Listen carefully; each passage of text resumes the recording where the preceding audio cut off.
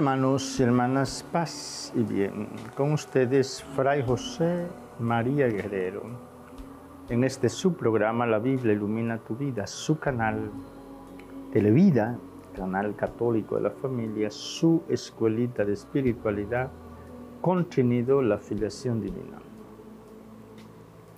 Hermanos y hermanas, recordarles que tendremos siempre eh, durante, todo el año abierta la campaña de la Fundación Futuro Cierto.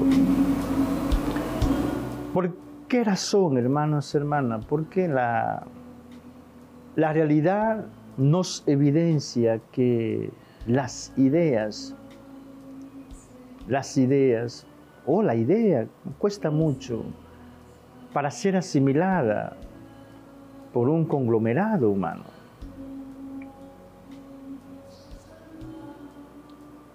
Llevamos casi siete, ocho años con este proyecto de la Fundación Futuro Cierto, anunciando 50 pesos de solidaridad y esto no ha calado en la conciencia colectiva del pueblo dominicano.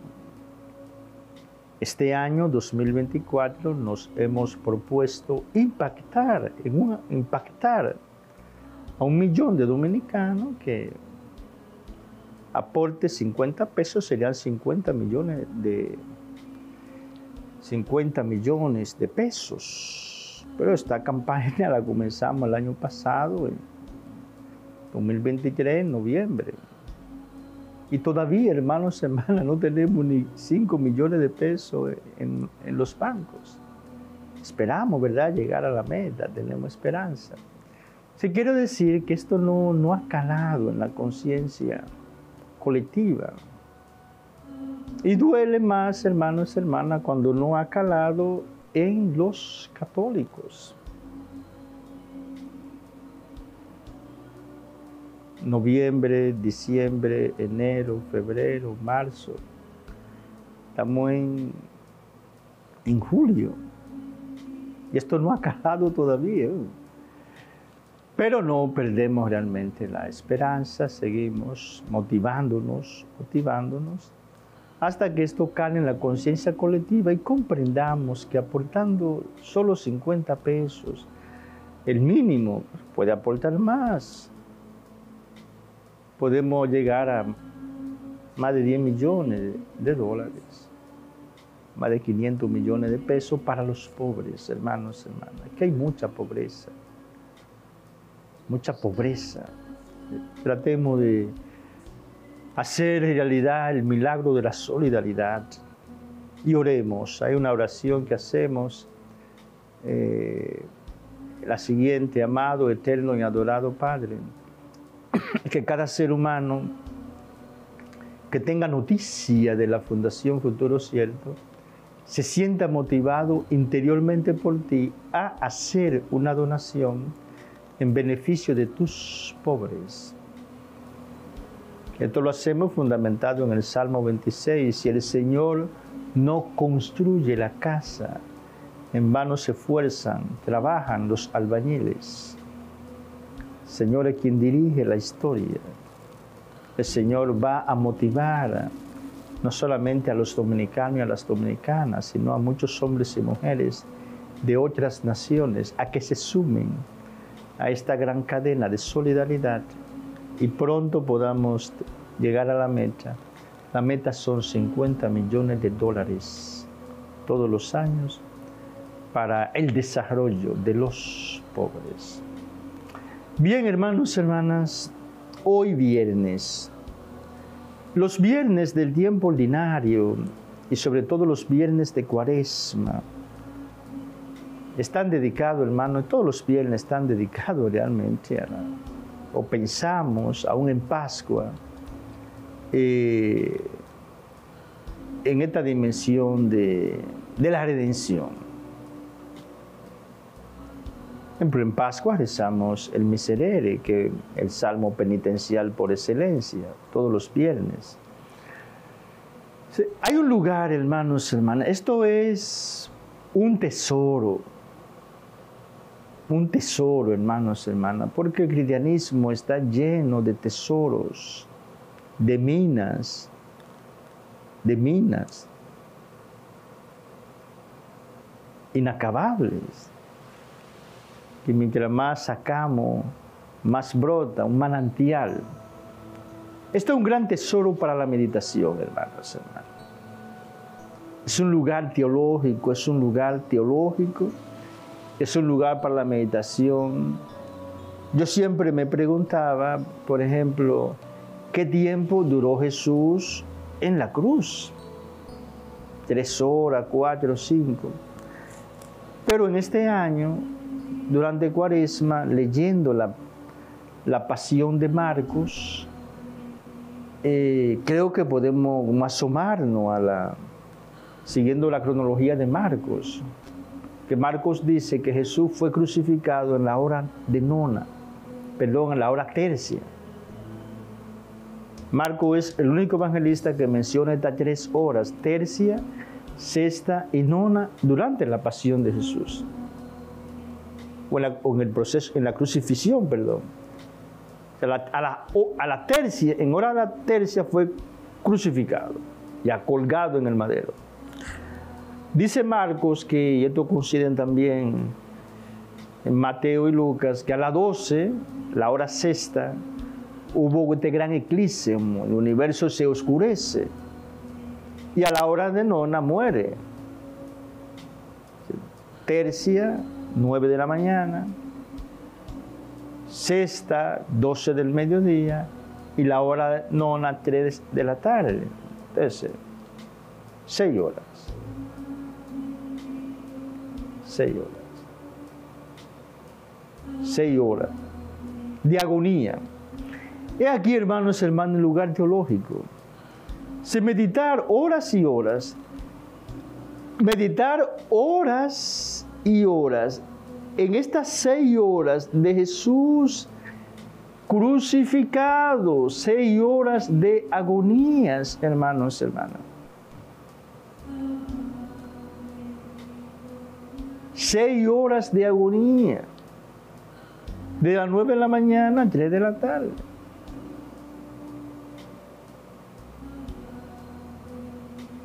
El altar de Jesús en la cruz, hay un prefacio hermoso en Pascua que dice que Jesús es víctima, es la víctima, es el sacerdote y es el altar, los tres elementos fundamentales del sacrificio. Hay un sacerdote que ofrece, hay un altar y la víctima. Entonces Jesús en la cruz es el sacerdote que se ofrece a sí mismo, víctima y el altar de la cruz. Hermanos, hermanas, aquí hay, repito, un lugar teológico hermosísimo para meditar. Y aquellos que puedan durar un tiempo prolongado, por ejemplo, con las manos así, extendidas. Lo más que puede durar una, hora, así. Eso provoca un dolor grande. Experimentando en la medida de lo posible el dolor de Jesús en la cruz. Entonces, sumergirse en esas seis horas de meditación.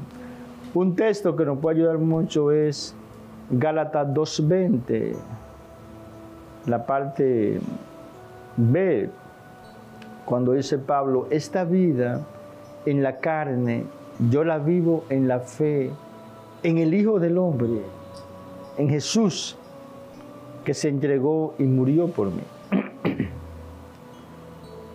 Pablo medita en Jesús crucificado. Y Pablo ve en la cruz la expresión máxima del amor de Jesús hacia él. Hermanos, hermanas, aprovechemos este lugar de encuentro, este lugar para la meditación, para la oración. Meditar en esas seis horas de agonía de Jesús, en qué pensaba Jesús, y pensar o meditar con Pablo que Jesús está ahí, estuvo ahí seis horas por mí, para hacer de mí un hombre nuevo que brote ese hombre nuevo, para hacer de ti mujer una mujer nueva, que brote esa mujer nueva. Para hacer de ti nuestra espiritualidad un hijo de Dios, que brote ya ese hijo de Dios. Jesús está ahí para redimirte, hermano, hermana, para liberarte de todo aquello que te aliena del diablo, del mundo, de la carne, del pecado, para hacer de ti un hombre nuevo, para limpiarte con su sangre del poder del pecado, del lodo del pecado. Te pide todas las gracias a Jesús, que por los, por los méritos de su agonía te concede el perdón de tus pecados, que por los méritos de su agonía te conceda la conciencia filial. Repito, Jesús duró esas horas, con Marcos yo digo seis, para liberarte, para hacer de ti un hombre nuevo, una mujer nueva liberarte del pecado. Medita, hermano, en esas seis horas. Y atención los franciscanos, que celebramos, estamos celebrando el octavo centenario de los sagrados estimas de nuestro fundador. En el año 1224, 17 de, septiembre, Francisco recibió en el monte Albernia las cinco llagas de Jesús. Y la familia franciscana está celebrando ese acontecimiento en este 2024, 800 años. Se los franciscanos tenemos aquí un lugar teológico, un lugar de para meditar, como lo hizo Francisco. Se sumergió en el misterio de la pasión de Cristo y por eso Jesús lo adornó con las cinco llagas si meditemos, hermanos, hermanas, esto es un mundo de espiritualidad, esto es un mundo de teología. Seis horas de agonía, hermanos, hermanas, por mi salvación, para mi redención. Él está ahí para mí. Esto es, esto es lo que me encanta de Pablo. Vamos a leer el texto en, en Gálatas 2.20, un texto bellísimo. Pablo es eh, junto con Juan, el gran teólogo del Nuevo Testamento. Pablo nos dice en la carta a los Gálatas, en el capítulo 2, verso 20, ve lo siguiente, dice Pablo, esta vida en la carne la vivo en la fe del Hijo de Dios, que me amó y se entregó a sí mismo por mí. Ah, yo tengo fe en este hombre colgado en la cruz. Este hombre que Dios. Que me amó y se entregó a sí mismo por mí. La entrega, hermanos, hermanas, no es la encarnación. La entrega, la entrega en, la Biblia es la cruz de Jesús, su muerte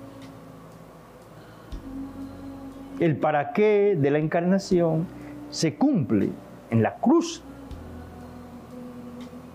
yo les invito, hermanos y hermanas, a, sobre todo los viernes, a sumergirse en esta gran escuela de teología, en esta gran escuela de espiritualidad, las seis horas de agonía de Jesús en la cruz, viernes Jesús murió viernes, lo sabemos históricamente. Y es importante, hermanos, eh, tengo fe, la fe que este hombre que está ahí es Dios. Pero esto sucedió, hermanos, hermanas, históricamente.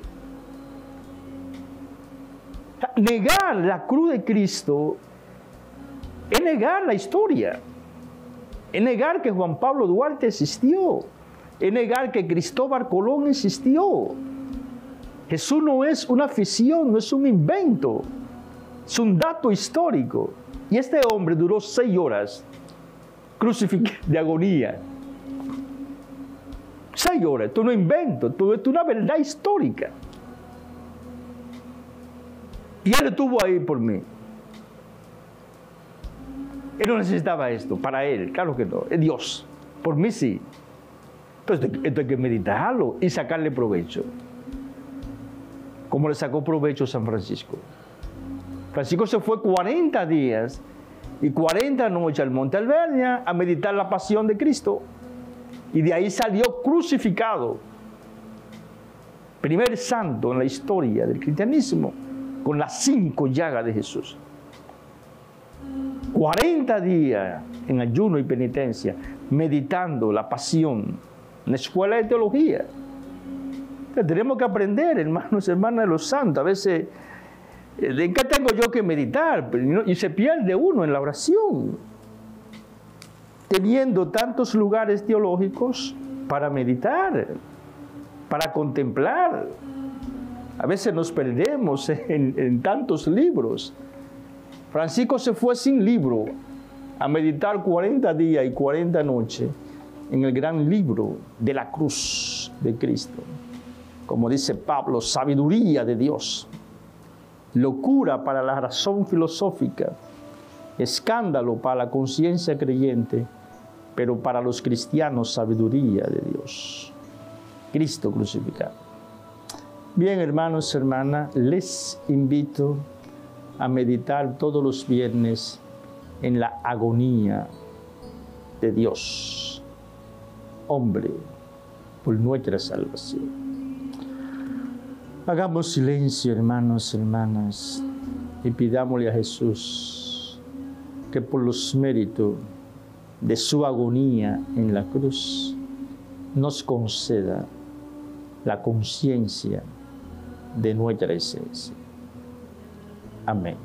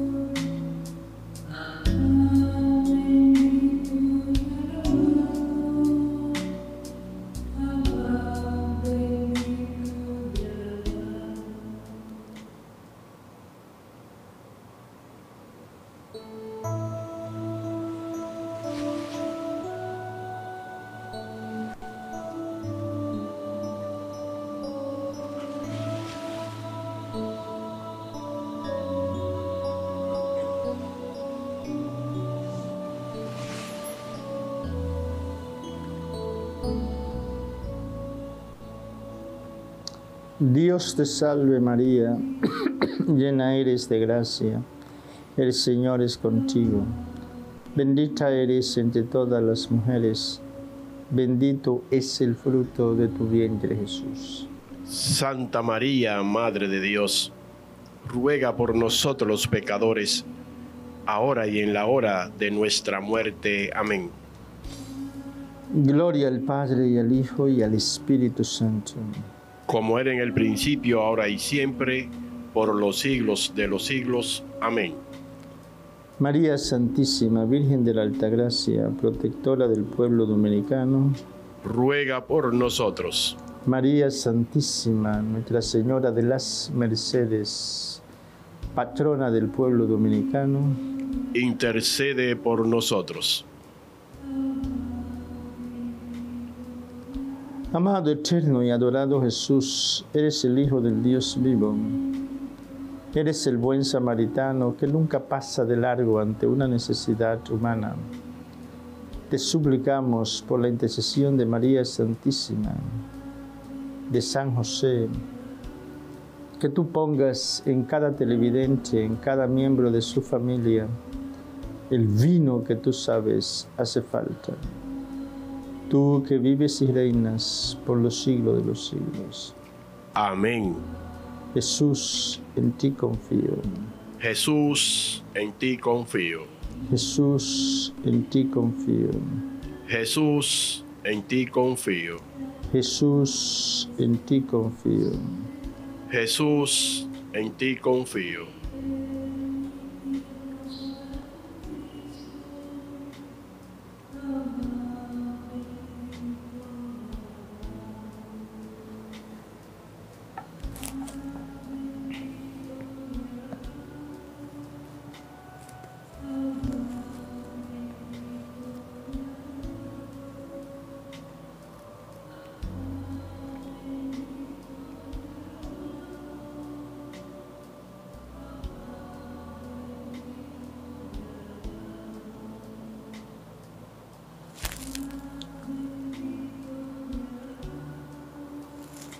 Decirles, hermanos hermanas, hemos hablado de ese lugar teológico tan profundo, tan sublime, la agonía de Jesús en la cruz, desde las nueve de la mañana a tres de la tarde.